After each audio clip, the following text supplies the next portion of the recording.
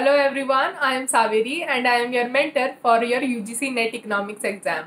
I have done my graduation from SRCC, Masters from CESP JNU and for the past one year I have been working with Indian Statistical Institute as a research associate. In our previous video we have covered what is the importance of RAship opportunity. In this video we will cover how to apply for this opportunity and what are the different institutes where you could find a opportunity. So let's start with the how part. So whenever you find an advertisement for RAship, you will see two things happening there. First is you will get a form where you need to fill up credentials and you need to attach a resume. Please note your resume should not exceed one page here. The other way mentioned in the advertisement could be you would be provided with the office ID of that college and you need to attach a formal request to the mail along with your resume and your cover letter. Now cover letter is very important. One, it helps your faculty to look at your achievements and your skill in a very formal way. Also when you are writing all your achievements and your skills, it gives you a lot of confidence.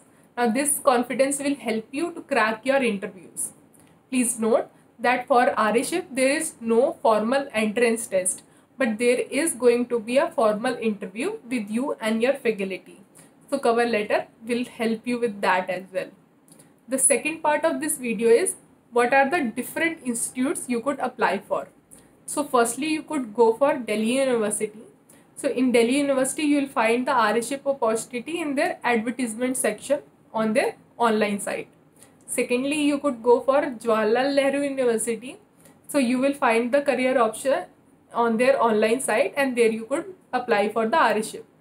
Thirdly, you will you can go for Indian School of Business. Now please note at Indian School of Business most of the researches are mathematically or statistically driven. So you need a strong hold on statistics. Also you need to know Python, R or Stata. So my experience with Indian School of Business was great. If you are looking for an opportunity for statistics, then also this institute is really great. Fourthly, you go, could go for Indian School of Indian Statistical Institute and Indian Statistical Institute is also a great uh, school if you are going for some behavioral or environmental economics platform. So for ISI also you need to look for opportunity on their career option and there you will find different RAship program.